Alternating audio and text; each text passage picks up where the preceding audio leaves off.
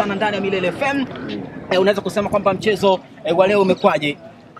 Mzuri tumeshinda na tumecheza vizuri pia. Mm, game plan yako leo hii ilikuwa namna gani coach? Ah, game plan ndio game za kwanza tatu. Ndio.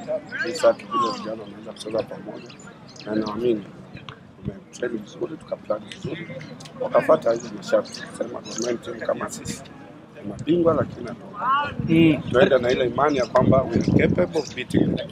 so it may happen Je, mchezo huu unamaanisha kwamba sasa timu yako iko tayari? Maanake katika mechi ya kirafiki dhidi ya Posta alisema kwamba mko tayari katika mchezo dhidi ya FC Leopards, alisema kwamba timu inafanya mazoezi. Je, ushindi dhidi ya Gor Mahia unaashiria nini katika timu yako? Inaonyesha kwamba ile mazoezi tunafanya kuweza wiki mbili wa kuweza kucheza mchezo na kushinda kumaliza 90 minutes juu kuliko vile tulikuwa FC tulikuwa chini sana hapo zote mbili. So leo tumeimprove improve game ya Bandari ya ya Western ya Gor Mahia tumethibitisha kwamba tukiendelea hivyo tutafanya.